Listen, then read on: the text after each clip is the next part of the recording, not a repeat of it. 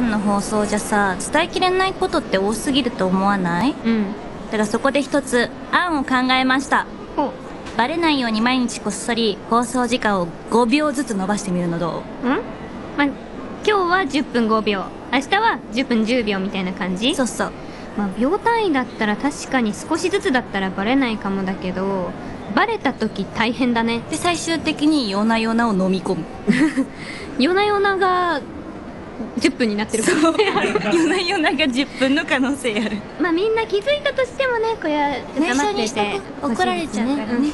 じゃあそろそろミーティング始めまよ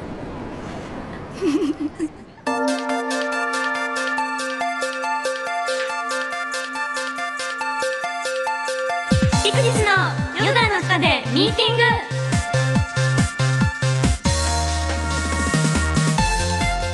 皆さんこんばんはピクシスの豊田萌です。皆さんこんばんはピクシスの伊藤美久です。なんてなんて言いました？ありえありえましょうなんなんだって？なんだって？いいわよ私は許さんとそんな可愛い髪型したって。私世界が許しても私だけは許さ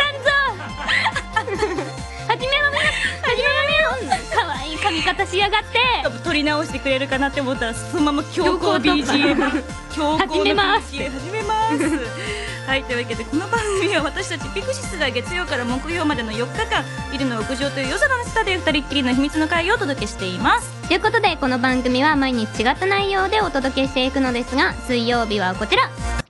まったりする日はい毎週水曜日はリスナーの皆さんから届いたメールを読みながらまったりしていきますはーいお便ということで、おり便り読みますね。ピクミンネーム、やっきゅさんです。ありがとう。と萌えさん、みくさん、こんばんはこん。ばんは先日、萌えさんのインスタのストーリーで、映画たくさん見始めたという文字とともに、LA、コンフィデンシャルうんという90年代の映画の画像が貼られていたのを見て、渋っとなりました。ミクさんも映画好きだと思いますが、お二人がお家で最近見た映画を教えてください。おいいですねまあこんな時代やからうんうん。たくさん今映画そうでねすね。見ているんですけれどもいろいろ配信もね、始まってますしね。そうだそれこそ私本当にあの名作と言われるうん。今まで見てこなかった映画を今のうちに見とこうと思ってこうなかなかに渋めな映画を今見てるのえー、よ、私見たことないや。ケビン・スペイシーさんがもうすっごいもう演技もう演技力って感じなんだけど、だこれとこれの元となったじゃないけど、まあ、ちょっと似てるえっとねユージアル・サスペクツみたいな。うんうんうん。ちょっとなんか英語難しくてた、うん。合ってるかわかんないんだけど。合ってるあ合ってる？ユージアル・サスペクツがめちゃめちゃ面白かった。へえー、ちゃんと見たことない。すごい。さいなんかあのトリプル D ど大どんでん返し。あ DDD ー、なるほどね。どんでん返し系なんだ。そうそうそうそう。私それをそうでん返し。大どんどでん返し。返し。トリプル D へえー、そういうの？トリプル D っていうの？知らなかったわ。初めて聞いたんだけど。言ってみた。作った急に。うん作ってみた。ずっと大でんでん返しって DDD だなとは思ってたっていうのを今言ってみた。そうそう流行らせてみよう。大どんでんまでだからね。返し。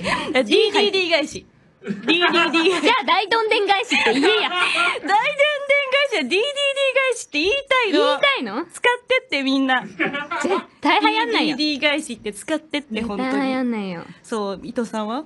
伊藤さんはね、でも、あのーマーベル作品はあそうだ全部見終わりましたよ。ねやっぱ楽しいよね面白かった。やっぱヒーロー、そもそも好きだからうん絶対ハマるよって言われてた意味が分かりましたね。いやね私もスパイダーマンの大好きだもんね、スパイダーマンね。まあ彼女だと思ってますからスパイダーマンの 自分を？はい MJ だと思って MJ だと思ってる？私も思った以上に MJ MJ じゃないね。全然 MJ じゃない。以上に全 MJ じゃ然ない MJ じゃないよ。純松本でもないわ。純松本でもない。その純松本でも MJ ない。でもないね。えー、MJ になりたい。あとはでもね、結構普通にこう、それこそ萌さんも言ってた、こう、名作と呼ばれるやつをこう見たりとか、お腹がいつもすくから、シェフとか、そういうの見て、あお腹すくなーって思いながら。であとあれも面白かった。ゲットアウト。あゲットアウトも DDD 返しだった。DDD 返しだった？うん。えー、名前しか聞いたことない。あとシャッターアイランドっていうのを見たし、うん。あとなんかファイトクラブブラッピーがめちゃめちゃかっこいいやつ、へー。あのあれサブリミナル効果がなんか有名になった映画。へえ、そうなんそういうとかあとなんかブレアビッチプロジェクトっていうなんか、うんドキュメンタリー風映画の先駆けとなったホラー映画なんだけど。なんかすごいこう、趣味がわかりますね。もうこんなんばっかり。趣味がわかるラインナップじゃない？あとネットフリックス限定の「イーライ」ってやつも見たけどうん。めちゃめちゃ面白かった。ちょっと刺激的なのが好きなのね、やっぱり。ほぼホラそうだよね。ーホラーばっかだわドドタンバッタンとかホラーとかね。しか見てないわそうなんだ。ハッピーなの？え、じゃあ私と真逆だわ、本当に。そうだねハッピーな映画を教えてよ、マイインターンとかすごいよかったよ。すごいよかったよ。おじいちゃん頑張ってるねっていう、ハッピーになれるよ。ねはい。ちゃんと見ようじゃあ私も続いてもおはい願いします。そうだ1通目だったんだ えっとマッサルさんからです、はいえー、ミックもしこんばんは。ね、声優グランプリにて、えー連載中のミックと絵本5月号を見ました。ありがとうございますえー今回は春にちなんで、腹ペカオムシという絵本でしたね。はい僕もこのお話は小さい頃お母さんに読んでもらったことのある本でした。うんまたミックが小さい頃虫は触れたけど、今は虫は全くダメ。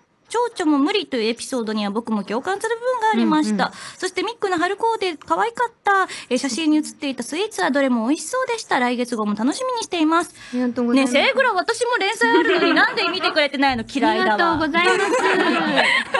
私は好きです。嫌いだわ。